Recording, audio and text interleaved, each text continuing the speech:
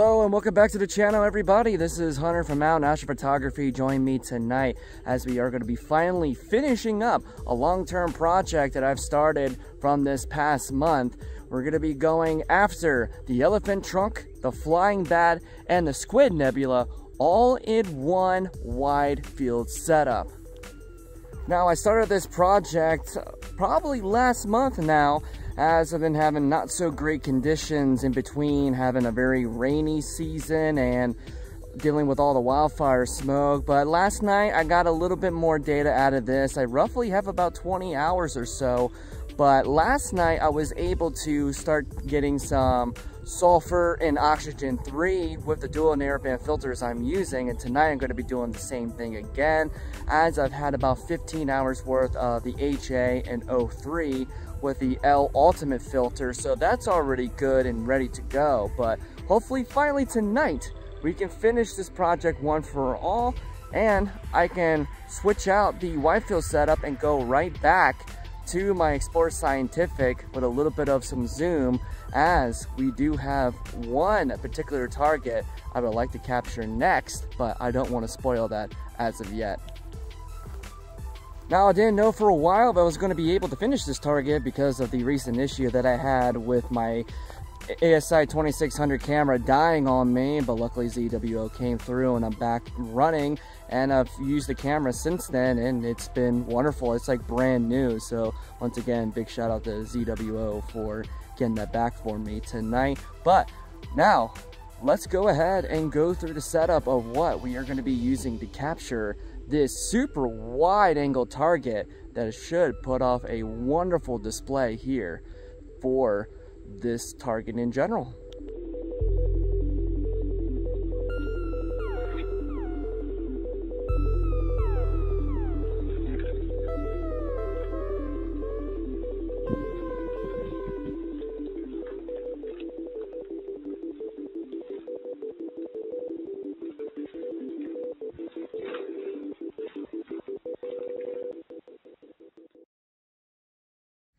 Now tonight for this ultra wide field setup I will be using the Rokinon 135 which is a Canon camera lens that has been modified and adapted to work with the ZWO cameras. This is 135 millimeter focal length so pretty darn wide for astrophotography and the nice part is I can shoot this down to an f2 so not only is it an ultra wide but it's also an extremely fast system too. Basically a mini Rasa to say the least and of course, I will be imaging with the ZWO ASI 2600 MC Pro one-shot color camera. And inside of the filter wheel here, I did use two separate filters for this project. The first off was the Optolong L Ultimate, which is a 3 nanometer bandpass filter for hydrogen alpha and oxygen 3. But tonight I will be using the Askar D2 Color Magic filter set, which indicates of oxygen 3 and sulfur 2 at about 6 nanometers or so so we can go ahead and have a SHO version of this target. Of course tracking everything tonight will be with the ZWO AM5 Strainwave gear mount with my makeshift at-home pier. Controlling everything, we'll be using the ZWO ASI Air Plus, the brand new version Guiding, we'll be using the SVBONY 30 millimeter guide scope with the ZWO ASI 120 guide camera to complete the entire package. Now we've gone over the basics of what equipment we are going to be using tonight. So let's go ahead and wait for nightfall so we can go ahead and do a rough polar alignment of the system after I've had it underneath uh, the cover for a little while, so it, it, it gets a little bit off from time to time until I'm able to build this observatory, which I've been waiting now to the fall months because of one, a little bit of some financial time, uh, like issues with it, and also it's just been ridiculously hot here this summer very dangerous heat with multiple days of heat indices between 110 and 120 degrees. And with my health problems I've had in my life, that is not a good combination. So we're gonna wait until nightfall and begin setting things up of our image sequence and we'll go ahead and get the show on the road. Now before we go any farther, we got a sponsor for today's video and it's me. Now I opened up a print shop thanks to getting into 3D printing anything regards to astrophotography or just astronomy in general. Being able to have, you know, better cable management, have a little bit of extra accessories for your Seestar, or anything that could be used to help you in your astrophotography journey. Are you ready to take your astrophotography to the next level? At Outten Astro Prints, we've got the perfect 3D printed solutions to enhance your stargazing experience. Welcome to Outten Astro Prints on Etsy, your go-to shop for custom 3D printed accessories designed specifically for astrophotography. We know that capturing the beauty in the night sky requires more than just a great camera. It requires the right tools and setup, from cable management solutions for your deep sky cooled cameras to mounts for your mini computers or accessories that are designed to make your astrophotography setup smoother and more efficient. Each product is crafted from durable PETG material built to withstand the extremes of hot, cold, and dew-filled nights, but also designed to handle the toughest conditions so you can focus on capturing those breathtaking celestial moments without worrying about your gear. Whether you're an amateur stargazer or a seasoned astrophotographer, Outten Astro Prints has a little something for everyone as we continue to grow our selection.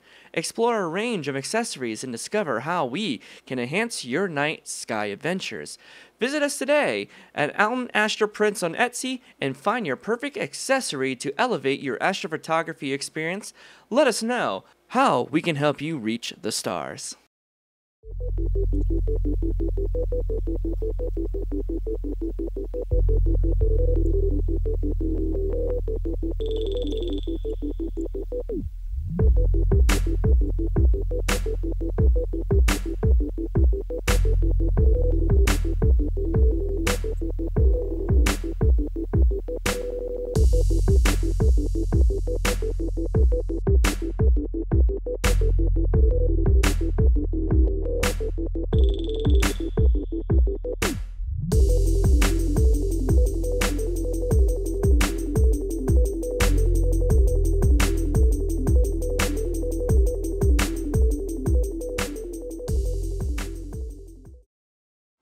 Now that we're back here at the computer, let's go ahead and start processing the data that we have. I've already gone through the liberty of stacking everything that I have, both from the filters of the L Ultimate and the Askar D2 for hydrogen, oxygen, and sulfur 2.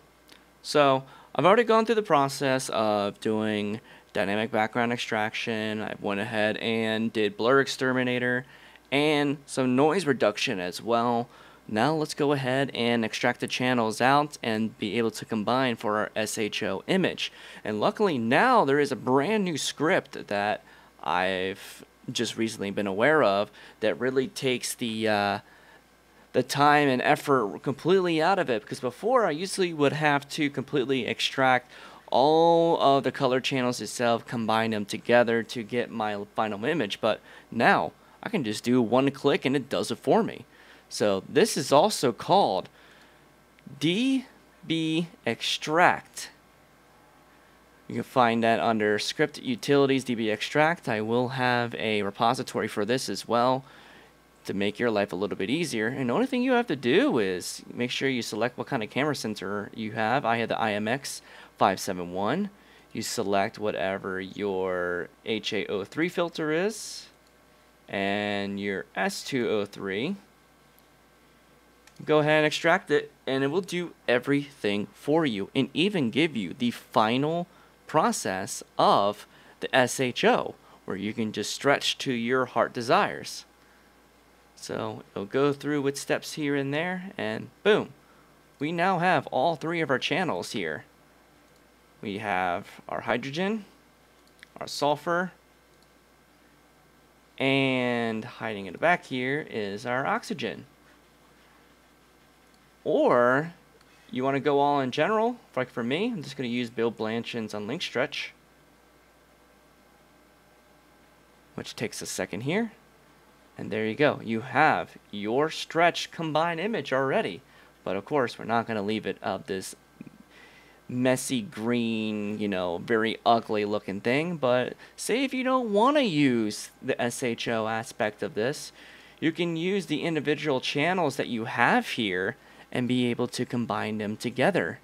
So like if I want to do an HOO and not worry about the sulfur, I can just stick those right aside. What I can do then is go ahead and use the Unlink Stretch from Bill Blanshan for the Hydrogen Alpha and the Oxygen 3. And then go over to LRGB combination and basically just add them right in for both of these. Apply global.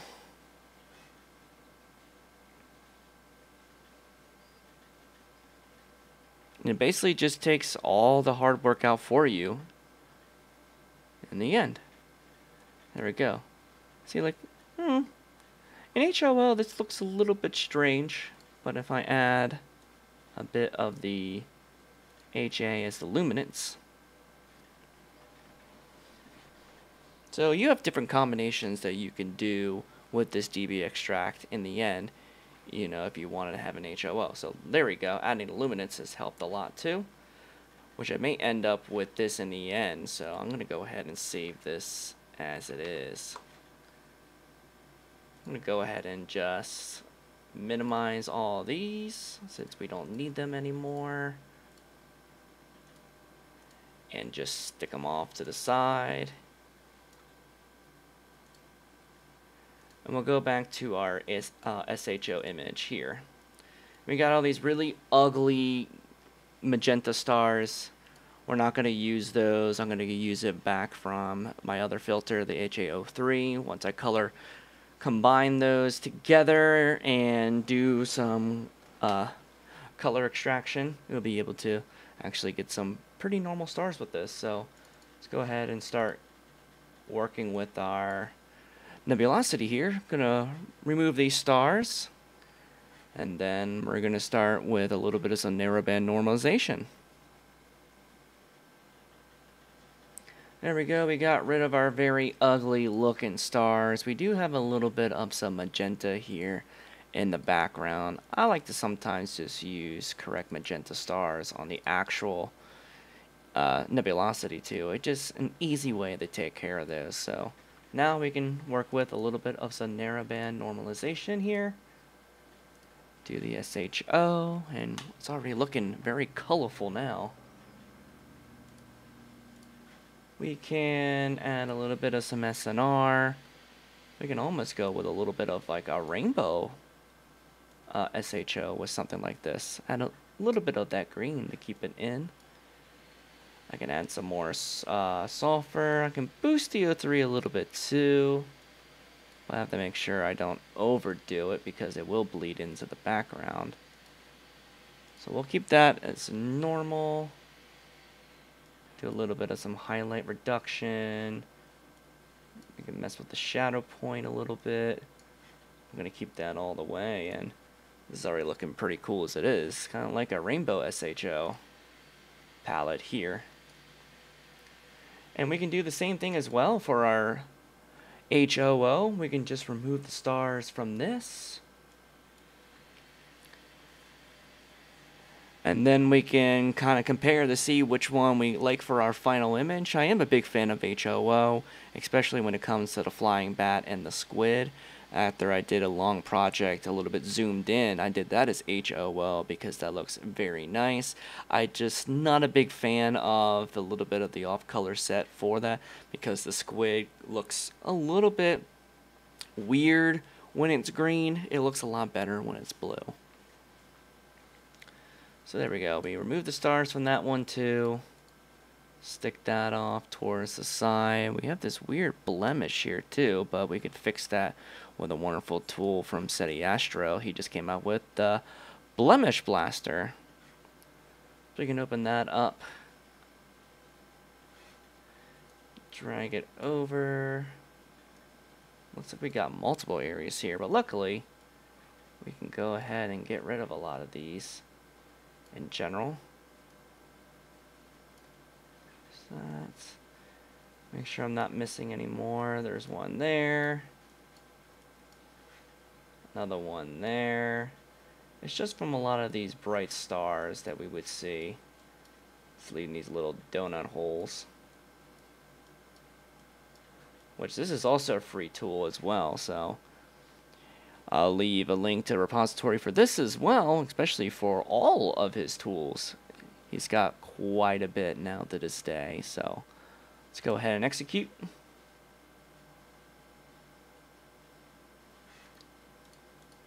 And just like that, all those really annoying little donut holes are gone. We can go ahead and apply to our regular image.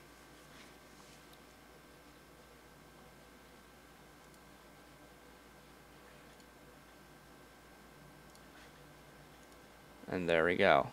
All gone.